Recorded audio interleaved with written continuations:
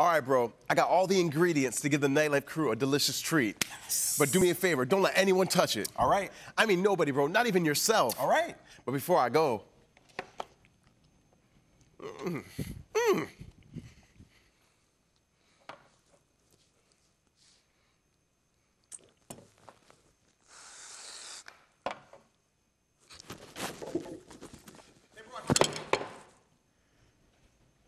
Did you eat my ice cream?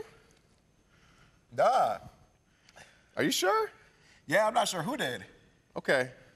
Thanks for being honest.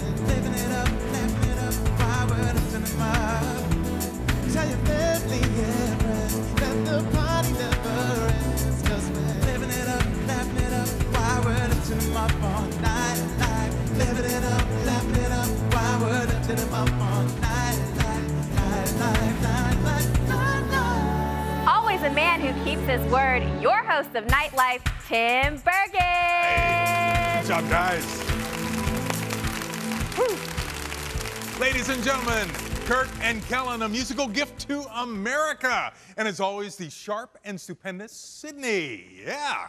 Thank you for tuning in to Nightlife. Every night, more and more people are discovering their new favorite television program. Now, every program has a theme or an idea that we like to think about and discuss, and even at times challenge our perspective. Tonight, we present integrity.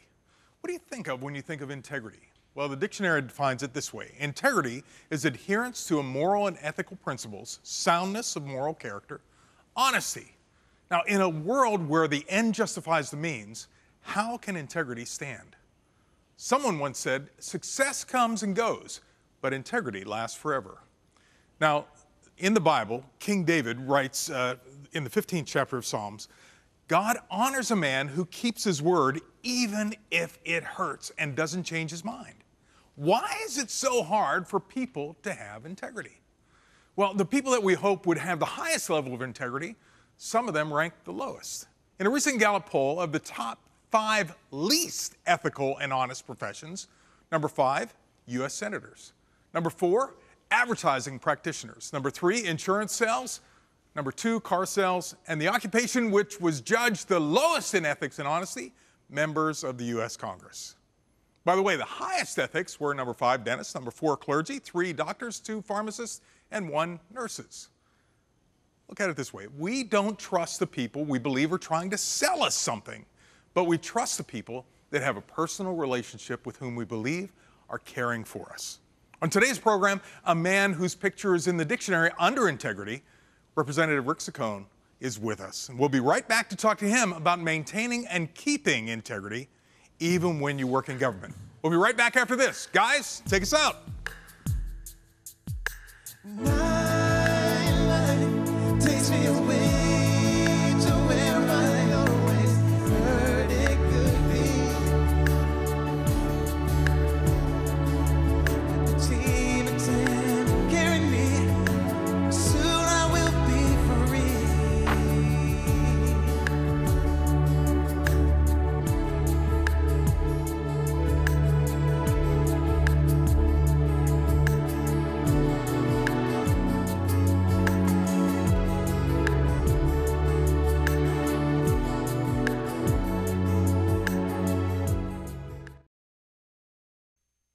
There are a number of people in my life that I think of when I think of the word integrity, and one of those at the top of the list is Rick Saccone. He is the representative to the State House in Pennsylvania from the 39th Congressional District. Welcome with me, Rick Saccone. Rick, come on down, buddy. Pleasure.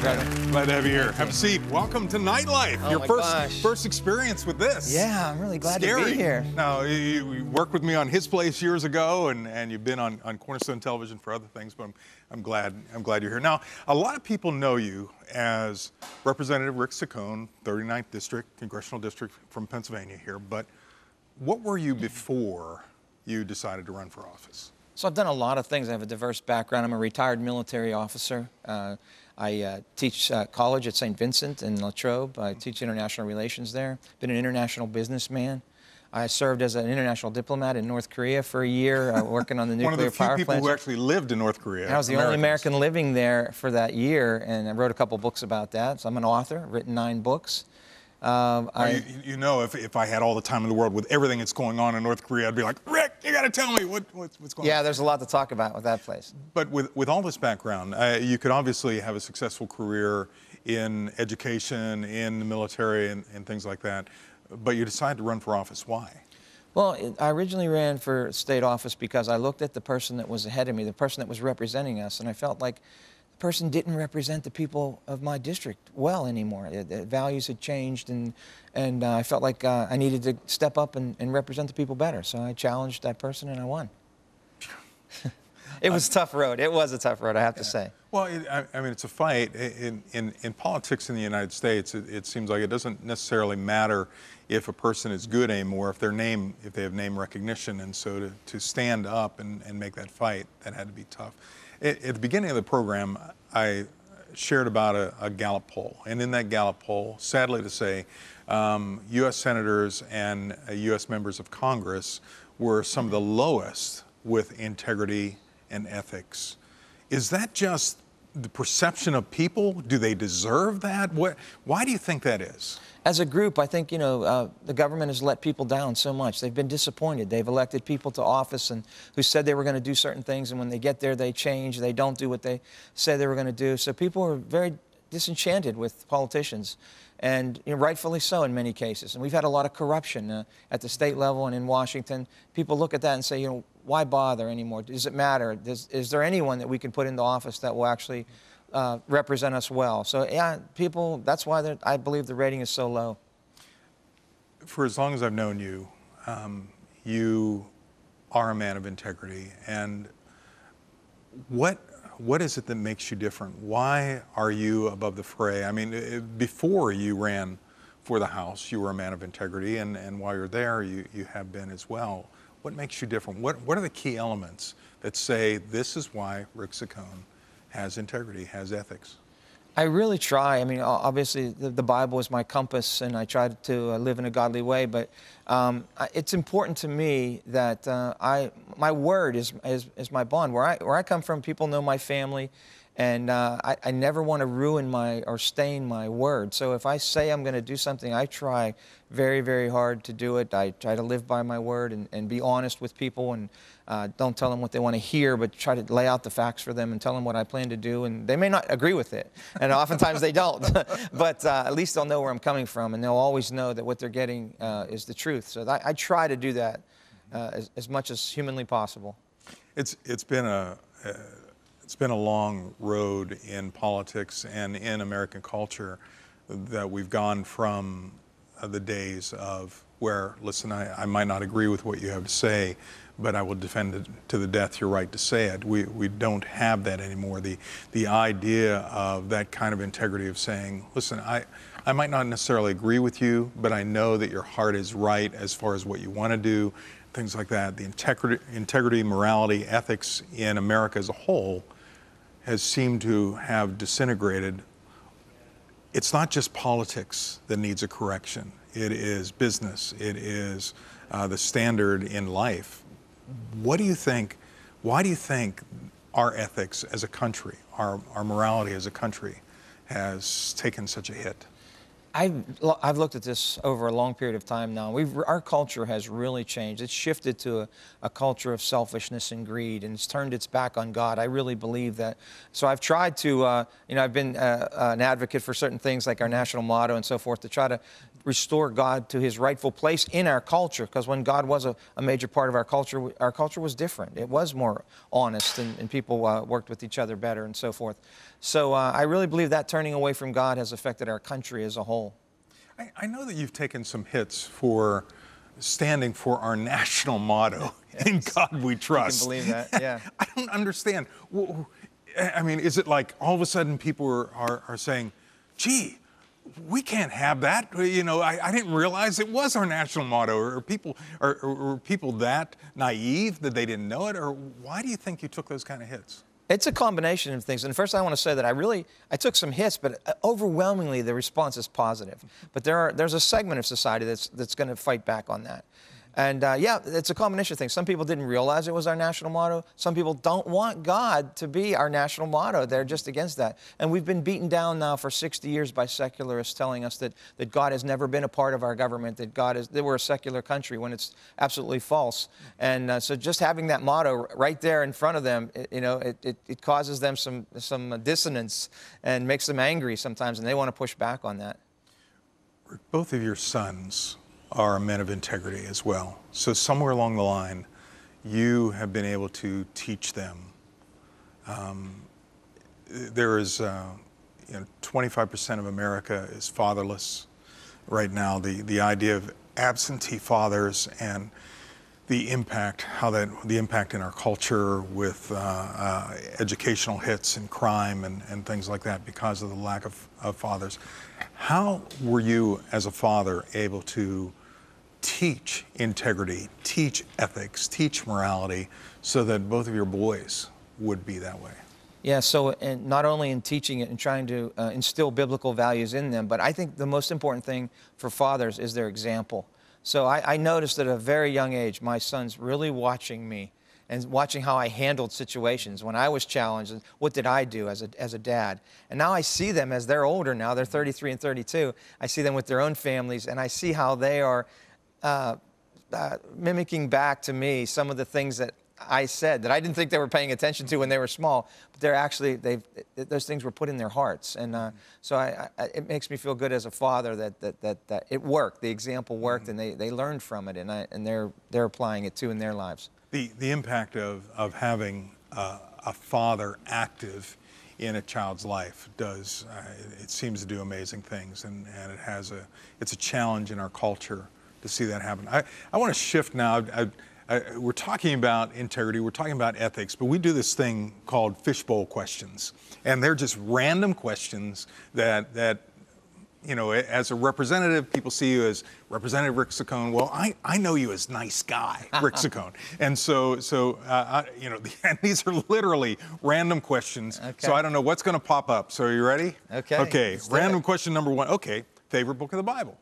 Book of Matthew. Uh, it's always been my favorite book. I, it's the book that really, I think, turned me around when I started reading the book of Matthew. I named my son Matthew uh, after the book of Matthew. Um, just Christ's words in there. When I, I, I, didn't start really reading it intensely till I, I, was an adult, and when I when I read Christ's words, I was like, wow, I did. I, I just never knew that he said these things, and they really they really touched me. It had an impact on my life, so it's my, it is my favorite book. Okay. Next random question. Okay. Favorite vacation spot? Rome. Rome. Oh, we've really? been there. Why Rome? Oh, I love Rome. The, you know, it, we've been there several times. I think five times now.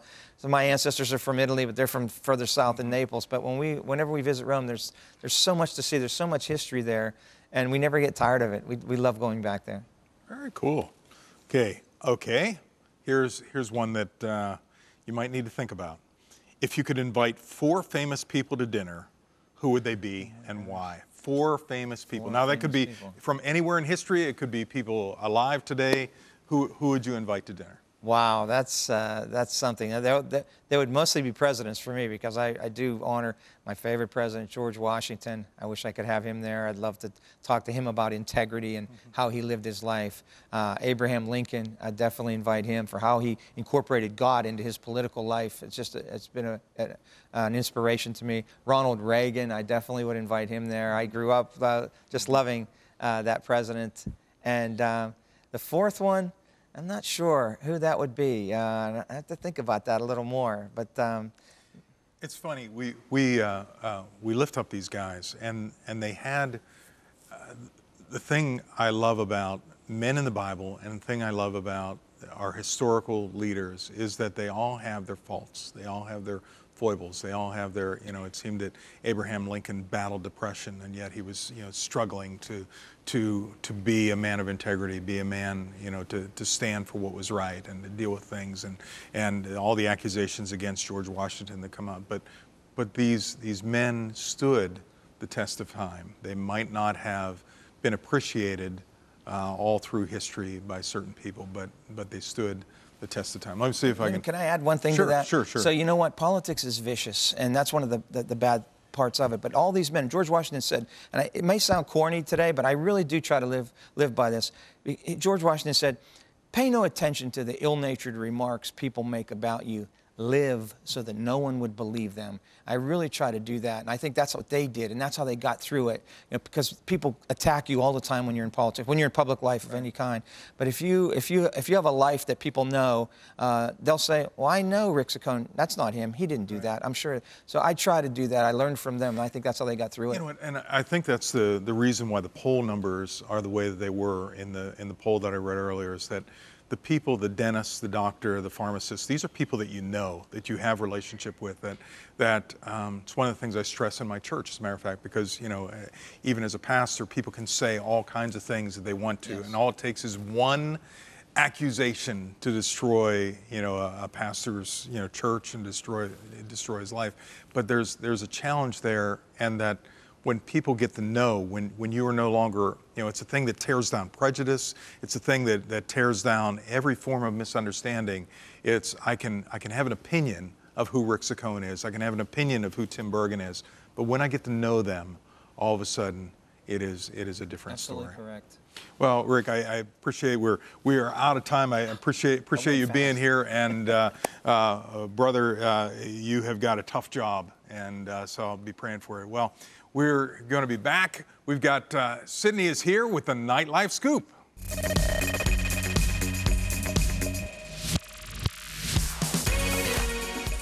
You know, despite all the bad news you see, there's still really good people out in the world, and Sergio Torres is one of them. Sergio and his family are homeless, and they've been living out of a motel in San Diego. One day, while Sergio was walking, he came across a money order for $676. Instead of keeping it, he tracked down the check's owner and gave it back to Yesenia Ortiz del Valle. Yesenia was so touched by Sergio's good deed, she started a GoFundMe campaign for Sergio and his family. Hundreds of people donated more than $13,000 to the family.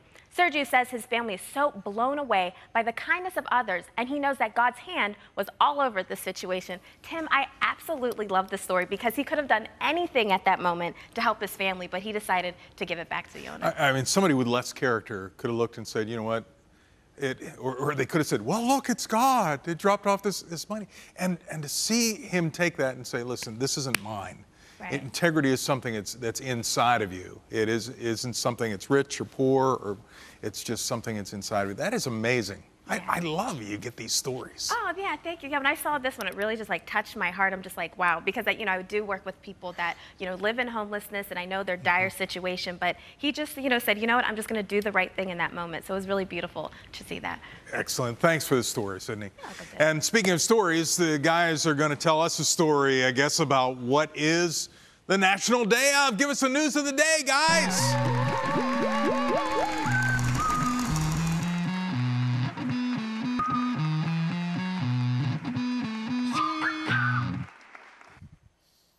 Ladies and gentlemen, you know what time it is. Kellen, tell them. Today is National Tap Dance Day.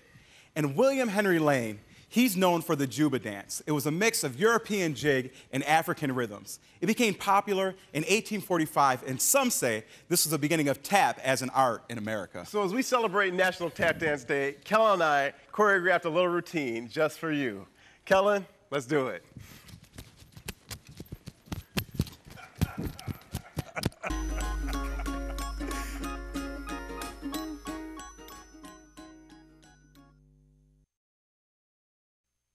So, what do you think?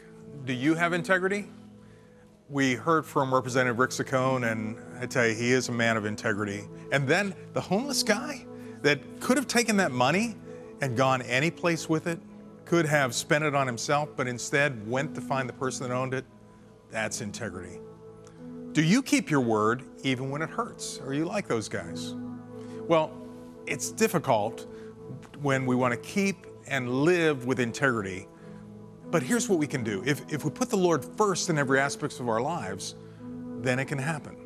If rather than keeping our word to our boss or our friends or our family, thinking that that's what we're doing. If we live like we're keeping our word to God, then it'll happen.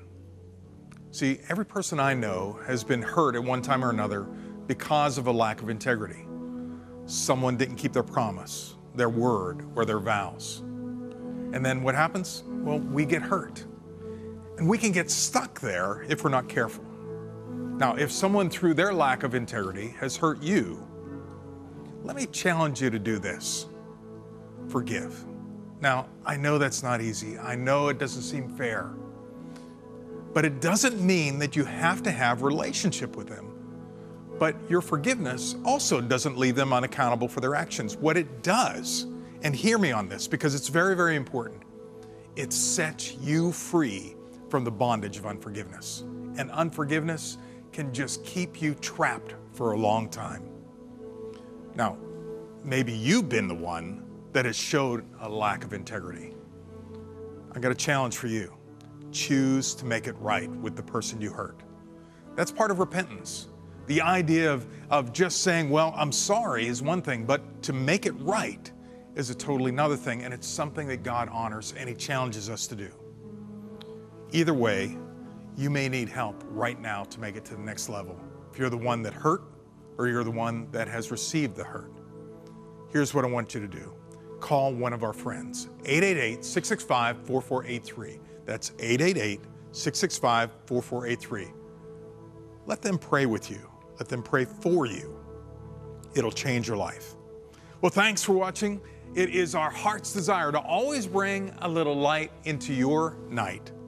From all of us, that's Robin Dave, Kirk and Kellen, Sydney, and from me.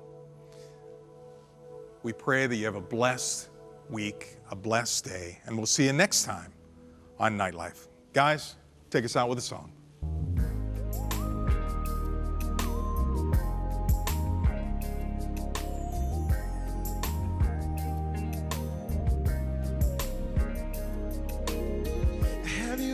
Tried to fly but couldn't spread your wings?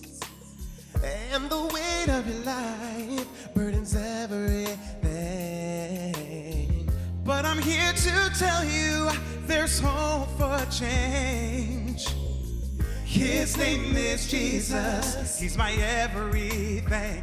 So come on and fly upon the wings of his love taking you higher and higher. Soar above your pain and your problems. Take me away. I wanna fly, wanna fly, wanna fly, yeah. Cause situations got you down. And you're feeling like there's no one around. You can have the world and yet feel so empty. Yeah, yeah. And you may feel that there's no hope. No hope, yeah. Life's too hard for you to go. You to go. Just look up to the sky. To the sky. Spread your wings and fly. Yeah, Fly yeah. the wings of His